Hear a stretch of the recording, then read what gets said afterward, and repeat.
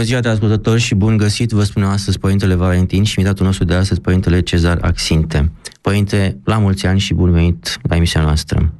Să rămână la mulți ani binecuvântat. Dragi ascultători, să rămână. Sunteți alături de noi și nu uitați, începem acest uh, parcurs de emisiuni, un uh, sănătos și cu pace la mulți ani, cu multă bucurie, cu multă dragoste și mai ales cu multă nădejde în Dumnezeu, cu multă credință, ca și împlinirea și iubirea noastră să fie de plină.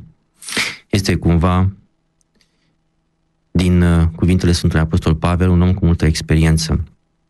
Pentru că suntem la începuturi și la orice început, uh, tot omul se gândește la ceva nou, ceva mai bun. E în firea omului această trăire, zicem noi, sau o să ne gândim astăzi.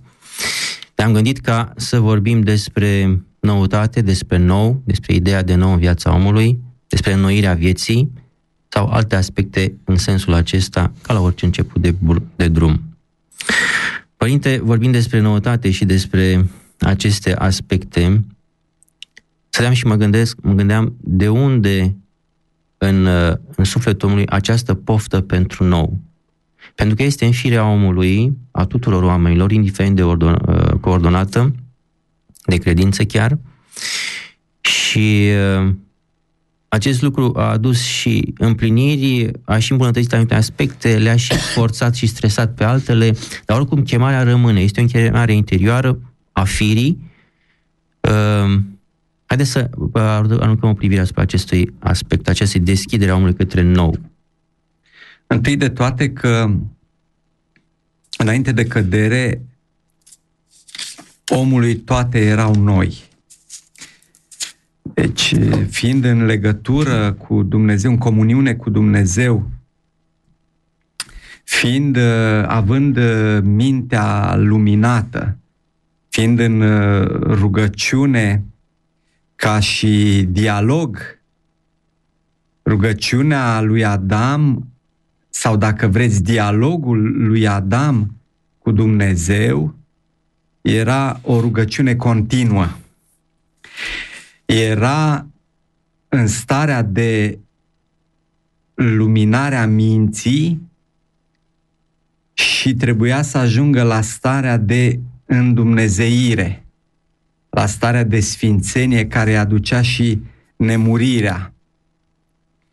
Și atunci starea aceasta sau legătura aceasta, comuniunea pe care o avea omul cu Dumnezeu era o noutate absolută.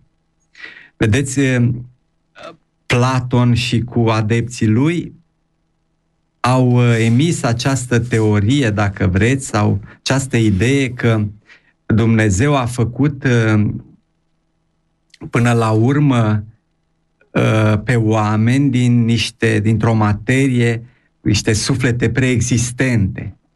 Însă această teorie avea, dacă vreți, neajunsul că a dus în mod necesar la această concluzie că sufletele alea s-au plictisit, se plictiseau în, în eternitatea aceea cum va fi fost ea și au căzut în trupuri. Cam așa îl consider, îi considerau platoniciștii, platonicii pe, pe oameni și se considerau și pe ei. Ceea ce, dacă în raiul acela sufletele se plictiseau, vă dați seama, căzând în trupuri, că și mai tare ajungeau la plictiseală. Ori, noutatea despre care, sigur că aceasta este o eroare și din punct de vedere logic. Da. Uh, potrivit învățăturii de credință și adevărului nostru de credință, lucrul acesta, sigur că uh, ar fi dus la o uh, mărginirea vieții de comuniune cu Dumnezeu, la chiar la, la un plictis până la urmă. Ori noutatea era, sau dacă vreți, bucuria, fericirea venea din aceasta că era totdeauna har peste har, sau cum vorbesc uh, uh teologii de termenul de pectază, de, din slavă în slavă, să spunem, adică bucurie peste bucurie se adăuga, toate erau noi, da? Vedeți că vine Eminescu și spune toate vechi și nouă toate. Da, adică da. aici este cumva până la urmă te învârți în jurul ca, ca într-un cerc vicios, uh, dacă este permisă paranteza aceasta, la fel cum uh, spunea uh, Solomon, nu? Că nimic nu este nou sub soare, toate sunt vânare de vânt, toate sunt, deci fără sens un fatalism. Și bineînțeles, fatalismul acesta venea de fapt din moarte. De asemenea, spunea și Socrate, știu că nu știu nimic. Adică toate pe care le cunosc se repetă. Ei bine, nu știu nimic în sensul că nu știu nimic despre o noutate care să nu se repete. După cădere, fiindcă ajungem la momentul acesta, a rămas în om, în fiecare dintre noi, această nostalgie a paradisului, a noutății și până la urmă a veșniciei. Adam, cât va fi plâns Adam sute de ani după cădere, după paradis, după veșnicie, după noutate. În definitiv, toate se repetau, nu? Adică ce? Ciclul vieții, te naști, trăiești, suferințe, puține bucurii, o amestecătură din asta, un amestec din acesta pe care nici nu știi cum să-l definești, ba da, îi spui viață și la urmă uh, o trecere din aceasta despre care nu știai nimic, năzuiai ceva. Ei bine, toate acestea s-au petrecut, tot, tot acest plictis s-a petrecut timp de mii de ani până la întruparea Domnului nostru Isus Hristos, până la când Fiul lui Dumnezeu a hotărât să-și facă sie și un trup, să ia un trup din Fecioara Maria și să-l unească pe această, această natură omenească, să o unească naturii sale uh, uh, dumnezeiești, firii sale dumnezeiești în ipostasul său și astfel să avem, iată, noutatea absolută de care vorbește Sfântul Ioan Damaschinul. Singura noutate este întruparea Domnului nostru Isus Hristos cu toate celelalte noutăți și de acum toate se înnoiesc. Adică nu e o noutate și de acum iar revenim la vechituri ci de acolo toate se înnoiesc până la sfârșit. Că lumea, dacă vrei, și apoi mai e ceva, sigur că se înnoiește lumea, adică se um, uh, face Dumnezeu lumea, după aceea cade omul, după aceea îl avem pe Noe, din nou se înnoiește într-un fel, dar totuși nesatisfăcător, știți? nesatisfăcător. Deși s-a salvat Noe până la urmă, nu? Au murit Noe și au murit și cei de după Noe și așa mai departe. Și iată că se revine ciclic la, aceeași, la același fatalism. Până la uh, Mântuitorul Iisus Hristos pe care le înnoiește pe toate. Da, vorbeați frumos că nostalgia paradisului ar fi izvorul, cauza, primă să zicem, acestei dorințe, acestei pofte interioare a omului pentru nou, ceea ce înseamnă că omul simte în firea sa că fără Dumnezeu, hoinărind în existență, după aceea, după ce s-a lepădat, n-a ajuns nici pe departe să guste bucuria care o simțea acasă. Și ca fiul risipitor tot timpul trăiește cum trăiește în libertatea lui, așa cum și-o construiește, dar are în suflet amintirea aceea din copilăria existenței sale care nu se șterge și care e superioară oricărei trăiri.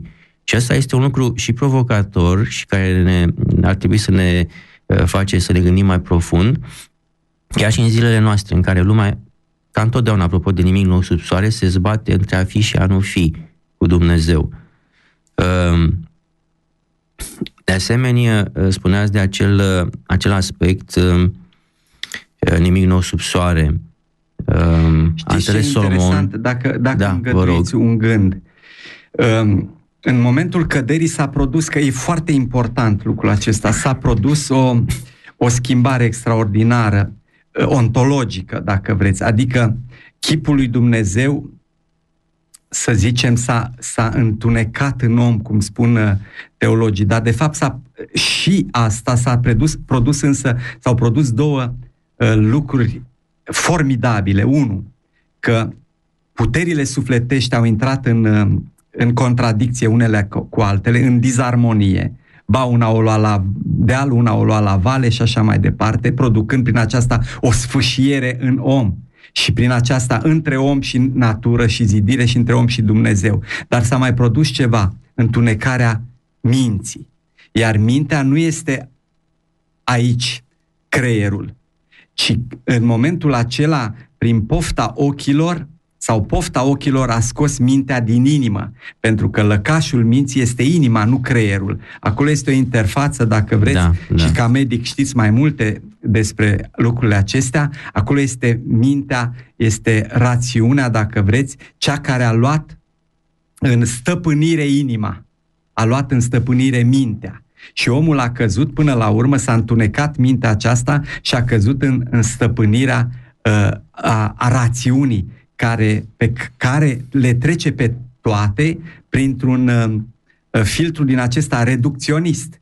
Omul a început să se reducă, să se micșoreze, să se micșoreze, de aceea și spune că s-a golit uh, Fiul lui Dumnezeu luând chip de rob. S-a micșorat, s-a făcut atât de mic încât a luat chipul acesta, fiindcă omul practic și-a închis prin, prin întunecarea minții și-a închis accesul la această nemărginire, la împărăție care era în inima lui și pe care împărăție o și trăia. Ei bine, înnoirea, de fapt, sau pofta după noutate este că omul simte că peste această raționalitate, peste aceste lucruri uh, căzute sub simțuri, uh, peste aceste măsurători materiale mai există ceva. Dar nu poate să acceadă sau nu poate să, să intre în acea dimensiune decât dacă pornește de la curățirea inimii, bineînțeles luminarea minții și uh, sfințenie, cum spun Sfinții Părinți, în Dumnezeire.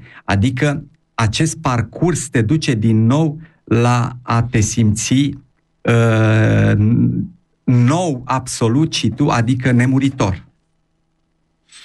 Da, în felul cum spuneți și cred că este interesant acest parcurs, uh, omul căzând din relație cu Dumnezeu, mintea se întunecă și limitează, ușile, canalele de comunicare se închid, iar pofta noului este ca o disperare a lui de a regăsi aceste canale. Mă gândeam în timp ce vorbeați la acel moment al lui Noe, când construiește corabia, termină, urcă toate animalele acolo și începe să plouă, și oamenii disperați văd că plouă, plouă, plouă și își aduc aminte de un nebun care construise o corabie pe, pe vârf de munte și începe să-l caute încep să-l caute. Iar Dumnezeu spune lui Noe că să intre el în corabie, că închide el ușa, iar aceia venit nu mai găsesc ușa. Deci, într-o disperare, ă, caută scăparea care și-au dus aminte cumva că Avem este... și la fecioarele înțelepte, exact. același cuvânt din Cam aceeași idee. Și ușa s-a închis. Ușa s-a închis. Și bineînțeles, închizându-se, o căutăm disperat. Deci, noul, sau pofta asta, noului are o conotație sănătoasă undeva în profunzimile existenței noastre. Numai că, de multe ori, zic eu, îi dăm să consume alimente nesănătoase sau căutăm să o satisfacem cu alimente nesănătoase. Vorbeați mai uh, puțin mai înainte despre faptul că multe se repetă în existența noastră și vorbeați de Solomon când spunea nimic nou sub soare. El necunoscându-l pe Hristos, putem spune sigur. că era puțin justificat, situația atunci era destul Tocmai, de... sigur că da. La fel Are și Socrate. Și Socrate și uh, Solomon. Da. E o existență fatalistă. Fatalistă. Și totuși, până la urmă, uh, înțelegem, din punctul nostru de vedere, că în istoria omenirii, într-adevăr, lucrurile se repetă, cu o singură excepție, început să spuneți ceva, ceva a, a, a creat un reper, a dat puțin de gândit, din a schimbat ăsta, mersul. Din punctul ăsta de vedere, chiar dacă Socrate este considerat unul dintre cei mai înțelepți oameni ai lumii și Solomon, incomparabil știm mai multe decât ei. Da, bineînțeles. Incomparabil, pentru că oftatul lor e legat de ceea ce exact unde mergeam în direcția aceasta cu noutatea. Pe undeva, ă, oftatul lor este și o provocare. Mă gândesc, nimic nou sub soare. Trebuie să fie. Încă nu l-am simțit, nu l-am văzut. Poate și, o zicea și ca o smerenie Solomon, la fel și, și Socrate. Știu că nu știu nimic. Deci nu e nimic care să mă încânte atât de tare încât să mă las agățat de acesta. Ă, cum privește Hristos, din acest punct de vedere, ideea de noutate, ă, având în vedere că face acest, uh, această lucrare, nu știu cum să-i spun mai bine, efort, această misiune excepțională jertfa, da. Uh, de a uni prin jertfa sa, prin suferința sa, cerul cu pământul și a crea o cale de comunicare care se rupsese înainte din neatenția. Vedeți, noi știm uh, sau înțelegem lucrurile așa puțin copilărești, așa, ca, așa cum e sufletul curat, că uh, Dumnezeu a avut un plan după căderea omului, iată întruparea, nici vorbă. Noi știm de la părinții purtători de Dumnezeu că oricum ar fi avut loc, adică din veșnicie, ă, Dumnezeu ar fi, s-ar fi întrupat, Fiul lui Dumnezeu s-ar fi întrupat. Că nu este planul B al lui Dumnezeu pentru om, știți? Sigur da. De asemenea, am putea spune că omul sau sufletul omului este veșnic, dar de asemenea și înainte de aceasta putem să ne gândim că chipul omului este veșnic în, în mintea lui Dumnezeu, dacă vreți, din veșnicie. Pentru că spun că, de fapt, omul este chip al chipului Tatălui. Prin urmare, pe, cum zice Sfântul Maxim Mărturisitorul, pe Hristos cel istoric l-a avut Dumnezeu în minte când l-a făcut pe om. Adică lucrurile acestea care au fost descoperite sfinților, cei care au parcurs, că de, de asta vorbeam de curățirea inimii. Până la urmă, n-ai cum să înțelegi, cum am zis, uh, rațional. Nu înseamnă că trebuie să înțelegi irațional, dar să înțelegi uh, suprarațional, adică cu mintea care minte, iată că nu poate să priceapă pentru că ea are această toxină, balastru sau uh, virus, dacă vreți, al, al raționalismului uh, reducționist. Dar uh, înțelegem asta că noutatea aceasta absolută care este uh, până la urmă întruparea este noutate pentru om, pentru că omul suferea de fapt de această um, de acest fatalism al, al morții. Suferea de, de, de durerea aceasta.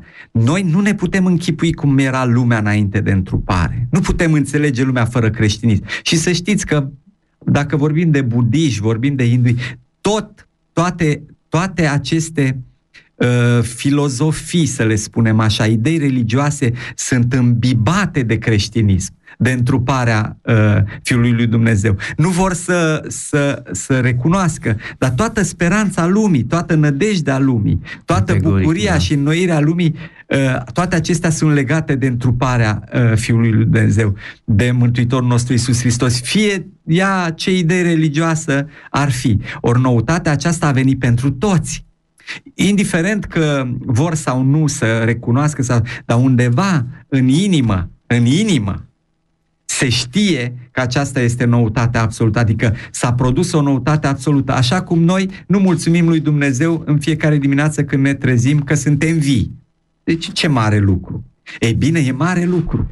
Așa și uh, întruparea, așa și venirea aceasta în proximitatea noastră cea mai intimă a Fiului Dumnezeu uh, aduce noutate și pe, pentru toată lumea, pentru toți cei care s-au născut de atunci până în veșnicie și pentru cei care, ă, bineînțeles, ă, au trecut ă, în cealaltă dimensiune înainte de întruparea Domnului, pentru că și pentru ei este noutate absolută.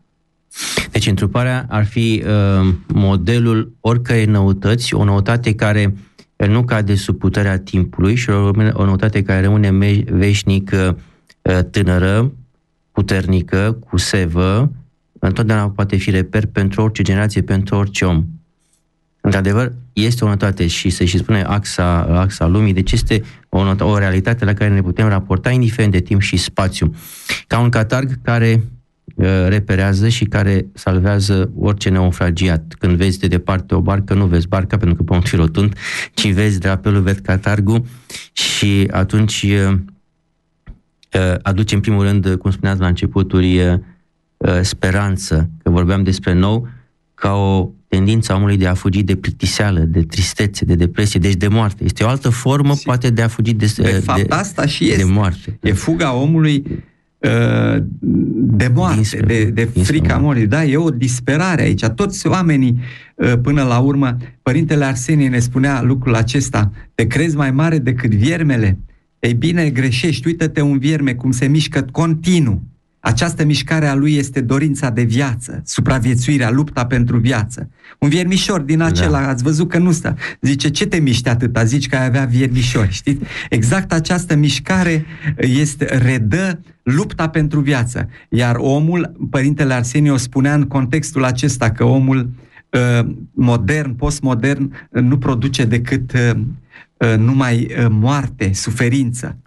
Da, confortul. Este o cultură la, la, la o trăvit puțin. Și ca orice o treabă, vedeți că încetinesc mișcările și devin nesigure. Omul nu mai fuge de moarte, ci înspre moarte. Înspre moarte. Asta, e, asta e suferința. I-a rămas fuga. I-a rămas fuga, dar vedeți, când mai mergi așa pe stradă și uh, cu mașina și am, am stat și m-am gândit de multe ori, uh, sau dacă o să vă mai dau un exemplu foarte interesant pe care da. de curând l-am. Da, omul fuge, accelerează, accelerează și încotro merge omule. Nu prea știe unde. Nu prea știe. El nu fuge către ceva, ci fuge de ceva. Toată această fugă în lumea modernă este o fugă de depresie aceasta. Și am observat, apropo de înnoire și de curățire, aceasta este, um, dacă vreți, de la începuturi la om. Și iudeii, vedeți că o aveau, au înțeles-o totuși în literă, nu în duh. Ei se spălau pe mâini tot da, timpul. Da, și da. vedeți că astăzi uh, toate statisticile se fac așa, cât detergenți consum, cât... E o nebunie suntem de ce? în stare să E o formă, o da. căutare de a curăției, să te curățești. Dar curăția da, da, aceasta e, dincolo. este, trebuie să fie interioară. E o curăție de moarte. Nu o curăție cu detergent, cu săpun. Toată ziua, bună ziua, vedem că poporul român nu se spală pe Cât dinți. Poporul și, da. român da. nu folosește săpun. E o nebunie, dar poporul român se curăță altfel. Sigur, nu înseamnă să nu te, să nu te spele atât, că este normal, dar a spus și Mântuitorul. Da, trebuie să fie asta element de statistică, bine. Exact, aici s-a ajuns. Ori noi râdem la chestiunile astea. Doar până la urmă, vedeți cum arată hainele Uh, portul popular al românilor. Este lumină și cuvântul lume. Vine tot de la lumină. De la lumină. Ne, vine uh, nea uh, John să ne spună nouă cum să ne măturăm bătătura. Știți cum să ne facem costumul popular? Când el e, tot este lumină, tot este nădejde. Dar așa am ajuns și noi acum. Ce să facem? Dacă nu mai purtăm costum popular, purtăm uh, ce ne dau în sfârșit, pe care trebuie să le spălăm tot timpul, că dacă porți haine din, pol, din petrol, din fire sintetice, oricât le-ai spăla, el, ele tot put. Iertați-mă, dar ăsta e un adevăr și atunci da, intri într-un cerc are calitatea inului și a fibrelor naturale. Care, care sunt viață până la urmă, sigur. Asta este. Uh, noi tot ne curățăm. Uh, vedeam uh, hamsterul ăsta, șoricel, e un șoricel mic pe care am început să-l bagiocorim, să-l luăm de distracție, să-l băgăm în cușcă. Și observ că tot timpul se curăță. Tot timpul, tot timpul se curăță și zic, uite, domnule, natura, zidirea simte că s-a produs ceva, s-a, s-a produs o, o întunecare, o prihănire și simte instinctiv și cred că nu se curăță de praf, că stă acolo într-o cutiuță mică, ci se curăță de energiile negative în care este obligat să trăiască păi și sigur. care, care îl, îl tulbură, îl afectează. Că zidirea așteaptă cu suspin, suspină cu suspinuri negrăite, negrăite ca omul să se curățe pe el și deci... să se îndumnezească ca să o ridice pe și pe ea, să, să o înduhovnicească. Așteaptă noutatea și zidirea, să știți. Se vede aceasta prin uh, prin felul în care se poartă natura până la urmă, natura însemnând prin aceasta ă, toată zidirea, tot cosmosul. Da. Într-adevăr, așa stau lucrurile ă, până aici. De ascultători, o scurtă pauză și vom reveni. Cuvânt și muzică. Radio Dobrogea. Continuăm, dragi ascultători, dialogul nostru cu Părintele Cezar Axine și cu dumneavoastră. Nu uitați numărul de telefon 0241 515 cu tarinul la rețeaua Intersat și numărul de SMS 0768123456 cu tarif normal rețeaua Telecom. Aveți contact pe Yahoo Messenger la ID-ul Radio Dobrogea într-un singur cuvânt. Ne puteți urmări și video pe pagina noastră de internet radiodobrogea.ro Vorbeam despre noutate și despre ideea de nou, pofta de nou a omului, și Părintele în frumoase pilde și frumoase exemple ne-a explicat că vine din străfunduri, din amintirea noastră, a nostalgia paradisului din sufletul nostru, din rădăcinile noastre și pe acolo pe unde este această poftă încă mai sunt speranțe. În ghilimele poftă, vedeți seama că nu de poftă ne arde nou acum. Acolo unde este această chemare interioară, încă mai sunt speranțe ca omul să nu se piardă de tot. Uh, această chemare către noutate îl ferește pe om plictiseală de tristețe, de, de, de, de nădejde, de eșec, de faliment, faliment și pe undeva și de moarte, dacă nu biologică, spirituală, absolut sigur. Părintele, la un moment dat ne vorbeați despre rugăciune Uh, sunt două aspecte care vreau în aceste minute câte am mai rămas, vreau să le uh, subliniem puțin. Rolul rugăciunii în menținerea acestui suflu către noutate, deschidere către noutate și pe de altă parte, ca o formă sau ca o manifestare a iubirii, uh, rolul iertării în acest început către a fi nou. Haideți să începem cu rugăciunea, că poate că este o piatră mai de fundament. Întâi de toate că această noutate absolută nu e o idee, ci e o persoană. Anume, Mântuitorul nostru Isus Hristos este cel cu care respiri duhovnicește. Numele Lui, Preasfânt, este cel cu care respiri duhovnicește, dar și biologic. Adică rugăciunea este chemarea acestui nume care, de fapt, ce face? Ă, biruie moartea în sine, înviază și prin unire cu el birui și tu moartea și înviezi. Este pârga învierii noastre, cum spun Sfinții Părinți. Deci rugăciunea, până la urmă, este, dacă vreți, această respirație continuă a acestui nume. Doamne Iisuse Hristoase, miluiește-mă! Toți părinții spun lucrul acesta. Care ce se face? Se face și începătură nouă, dacă vreți, pentru curățirea minții, ca pentru curățirea inimii și luminarea minții. Adică, de fapt, te duce din nou în, în paradis, încă aici fiind, preguși din raiul acela, încă aici fiind.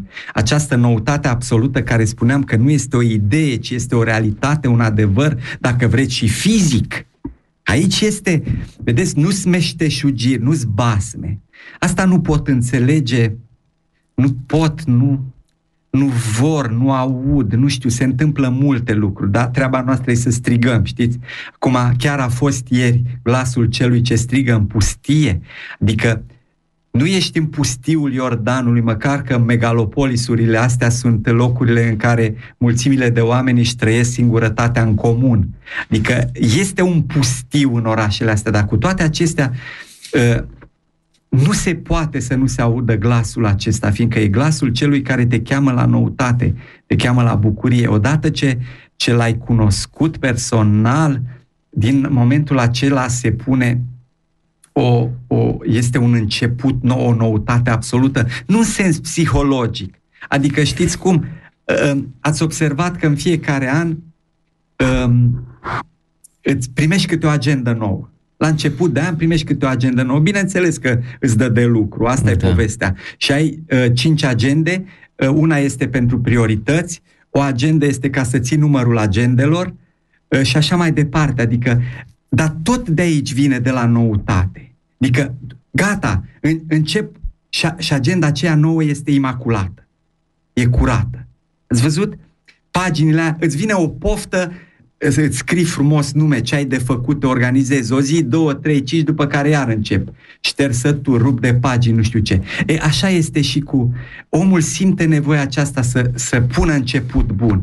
Și își cumpără o haină nouă, își cumpără o agendă nouă, o mașină nouă. Aici au speculat foarte mult. Dacă ar fi îngăduit, sunt multe de spus.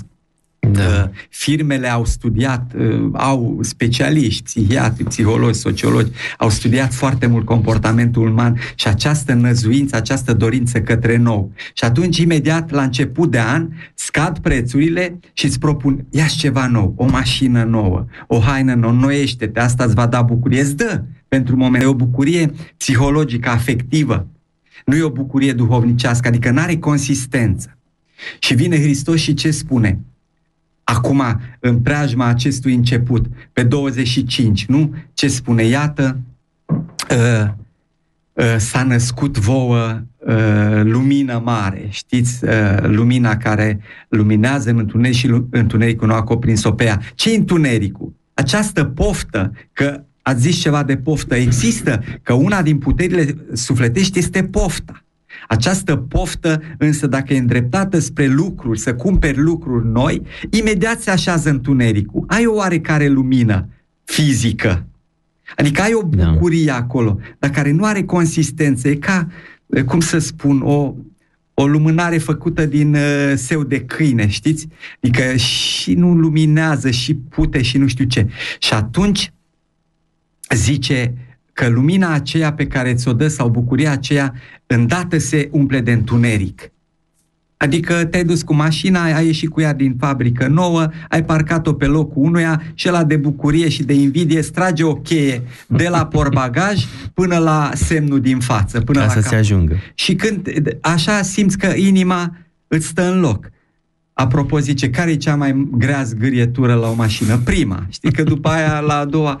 Ei, iertați-mă, dar uh, vreau să spun lucrurile acestea pentru că suntem, în definitiv, trăim în lumea aceasta și simțim lumea aceasta. Și o bucurie a, a ținut câteva... Zice, orice minune ține trei zile. Da, orice minune făcută de om.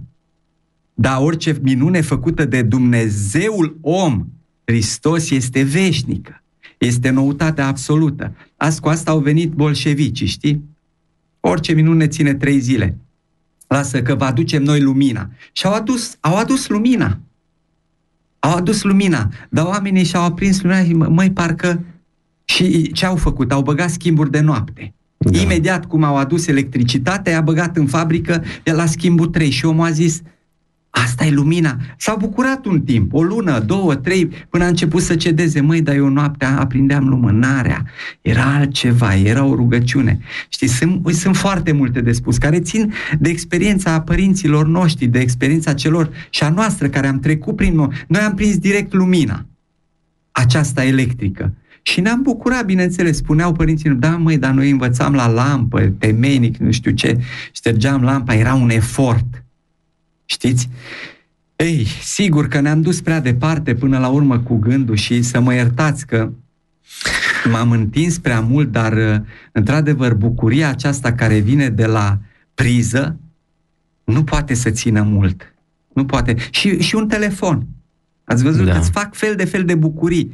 Rămâne copilul cu, cu tăierea, cu respirația tăiată. Când vede un gadget, nici nu știu ce înseamnă, dar sună bine. Cred că e ceva o noutate pe, pe, nu știu, sincer, nu, nu-i frumos să folosești cuvinte pe care nu le cunoști, dar intuiesc că e ceva o noutate pe telefon, așa, și pe uh, tabletele astea și nu știu ce. Îi zice tabletă ca și cum te-ar vindeca de ceva. Știți? Ca și cum ai lua o tabletă Da. da. și iată, te simți mai bine. Nu întâmplător îi zice tabletă, și pentru formă, că arată ca o tablă, dar și pentru că odată ce ai pus mâna pe ea, ți-ai, ți-ai introdus-o în minte așa și în inimă, îți dă o stare de bine, dar care imediat este urmată de întuneric. Absolut imediat. Știți? Și toate lucrurile acestea, îți, ă, până la urmă, sunt noutăți absolute. A apărut iPhone nu știu ce. Și dintr-o dată a fost o isterie. Și lumea iar a căzut în depresie la câteva luni după N-a asta. ținut mult, da. N-a ținut N-a mult. ținut. Imediat întunericul s-a Acum așezat aștept, pe ecran. așteptăm altă isterie. Um, cineva ne întreabă și uh, să uh, amintim acest mesaj. Doamne ajută și la mulți ani. Cum comentați ultima declarație a Papei Francis care a spus că nu mai există iad ca fiind locul în care oamenii suferă și sunt chinuiți de satana? Această doctrină, a spus Papa, este incompatibilă cu dragostea nemărgintă a lui Dumnezeu este popi- posibil să se fie înșelat Sfântul Siluan, care își ținea mintea în iad și nu de nădăduia, oare ceva necurat va intra în împărăția lui Dumnezeu? Da, Nu e, sincer- nouă, nu e nouă ideea. da, cred că și Origine avea ceva așa ceva, nu? Exact. Cred că papa nu a citit... Uh, Nu știu dacă a spus papa lucrul acesta, trebuie da, văzut în nu câte cred că ar fi comenta. trebuit să spună. Am auzit însă un comentariu al papei eh,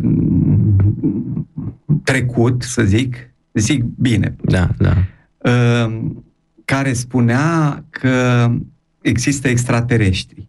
Mhm. Și bineînțeles că nu putea fi contrazis, fiindcă uh, este cunoscut în istoria omenirii că există extraterestri. Da, și în Sfântul sensul că Apostol- dincolo de pământ. Toți Sfântul drăgușorii sunt și Apostol dincolo. Pavel de- spune da. că lupta noastră nu este împotriva cărnii și a sângelui, ci a duhurilor de sub cer.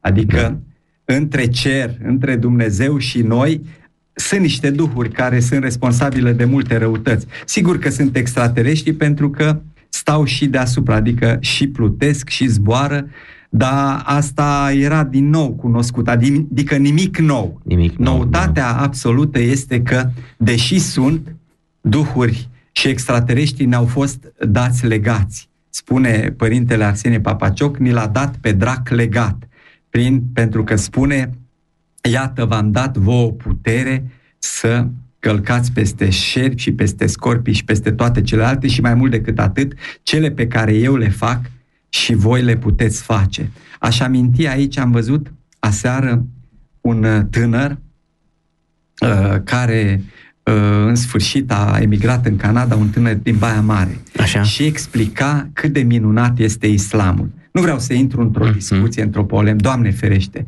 dar uh, a, aș, cum să spun, n-am mai simțit o durere așa de mare de mult.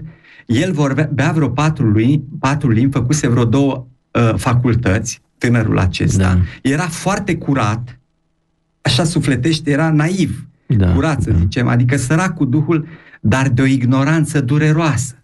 Probabil că plecase de mult de acasă și nu avea, da, avea patru facultăți. în Canada de pe la 12-13. Asta vreau să zic. Avea multe facultăți, dar nu avea șapte ani de acasă și, și nu avea reper. Ignoranța, această ignoranță, el explica așa foarte doct, uh, spre semi-doct, uh, uh, cum e cu profetul, că și da, Mântuitorul e un profet, dar atât de ignorant și m-am îndurerat foarte tare și revin acum la noutatea absolută. Păi, ce noutate absolută poate să aducă repetarea unui uh, profet, unui om care s-a născut și a murit? Până la urmă ne învârtim în această fatalitate. Dacă da. nu există Hristos, care este Fiul lui Dumnezeu, este Dumnezeu de săvârșit și om de săvârșit. E, e, suntem, cum spune Sfântul Apostol Pavel, zadarnică este propovăduirea noastră și credința noastră e de bat jocură. Adică cum să spun, mă, mă ia durerea de inimă când mă gândesc că poți să, să, să cazi atât de simplu uh, pradă unei rațiuni atât de mărginite. În definitiv, asta e noutatea. Spargi, țâșnești din rațiunea aceasta care cade numai sub simțuri. Asta ne spune și Hristos. Cunoaște adevărul, nu în sens ideologic.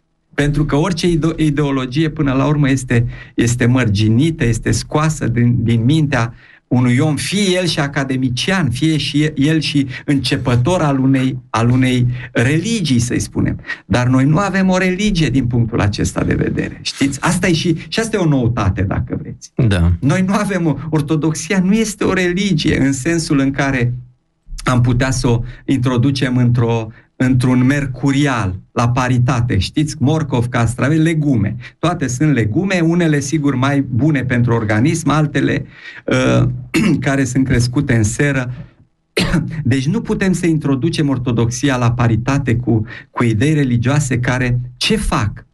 Se învârt în, această, în acest cerc fatal, acest cerc uh, uh, vicios, fuga de la durere către plăcere, care imediat aduce durere și iar fugă către plăcere. Adică această, acest joc întuneric-lumină, întuneric-lumină, care până la urmă se uh, sfârșește în moarte, uh, care poate fi încă de aici și încă înainte de moartea biologică și cerebrală. Ori noutatea absolută aceasta este că, iată, eu pot să mă împărtășesc, pot să, să, să mănânc uh, trupul acesta înviat al lui Hristos, să beau sângele acesta în Dumnezeitor al lui Hristos. Și asta e noutatea absolută, știți? Că până la urmă, bun, Hristos a înviat, Mântuitorul nostru s-a întrupat toate celelalte, a pătimit, a înviat, s-a înălțat la... Bun și punct, Adică a făcut asta ca o demonstrație. Ca un spectacol. Ca un da. spectacol da. din acesta, uh, cum să-i spunem, foarte cinic, adică am înviat pentru el. Da, e și logic și e prea puțin. Dar e fără sens. Adică pentru el, ce, ce aduce, ce ar aduce nou? Toate sunt da. legate da. între ele, știți? Uh, dar e mult, avem o, avem o viață de, de strigat. Da, într-adevăr este de, de gândit și este bine că se mai întâmplă astfel de lucruri pentru că ne ajută să ne înțelegem pe noi înșine, așa cum spuneați puțin mai devreme, din origini omul uh, are o chemare către noutate, Noutatea aceasta, acum noi explicăm, este și ființială, îl ajută omul să supraviețuiască și în această luptă, de ce nu, la un moment dat se va întâlni cu ceea ce într-adevăr este cu adevărat nou. Adică are șansa să se uh, întâlnească cu Hristos, cu noțiunea de noutate veșnică, realitatea noutății veșnice, în împărtășire, cum spuneați, de pe poziții uh, încă mai având puțină viață, adică nu chiar mort de tot. Dumnezeu să ne ajute și poate că în anul care urmează uh, fiecare dintre noi să se întâlnească într-un mod cât mai apropiat cu Dumnezeu Mântuitorul nostru. Dragi ascultători, mulțumim foarte mult pentru atenție și vă așteptăm să viitoare la aceeași oră. Doamne ajută! Să rămână, Părinte! Doamne, miluiește!